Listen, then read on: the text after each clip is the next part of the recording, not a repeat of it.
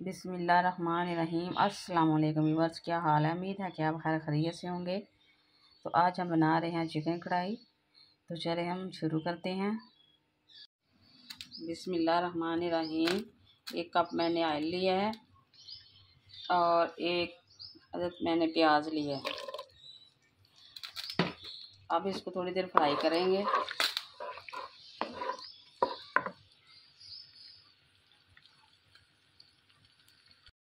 ये देखें प्याज थोड़ा सा ब्राउन हो गया।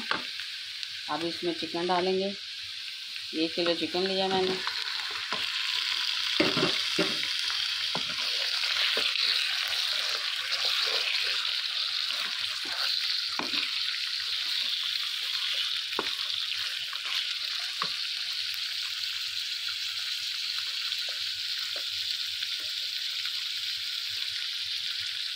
चिकन फ्राई हो गया है।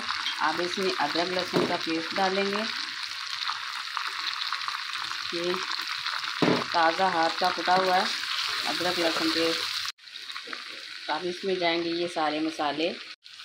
अब इसमें दो टमाटर डालेंगे, तीन चार हरी मिर्चें डालेंगे। माशाल्लाह देखें, अच्छी तरह भून चुकी है ये। अब इसमें थोड़ा सा दही डालेंगे।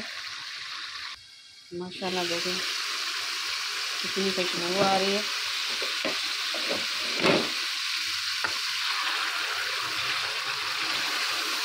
ये देखें चेक करें।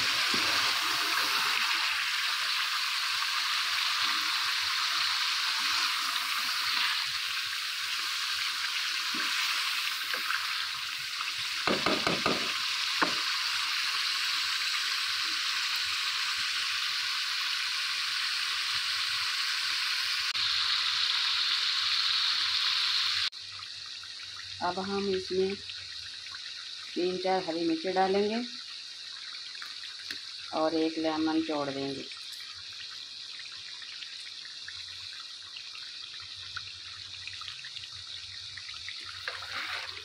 और इसको पाँच मिनट के लिए कवर कर देंगे।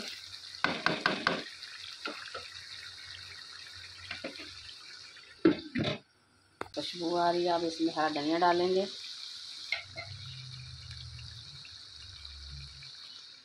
बंद कर देंगे दो मिनट। दो मिनट हो गए हैं। माशाल्लाह।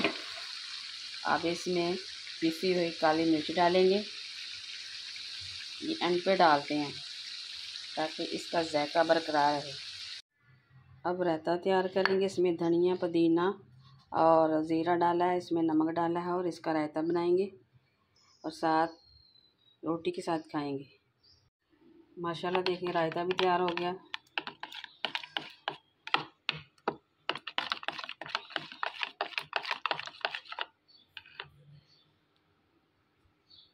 देखिए, हमारी चिकन कढ़ाई तैयार हो गई है। साथ रायते के, साथ चाहे चपाती खाएँ या नान खाएँ।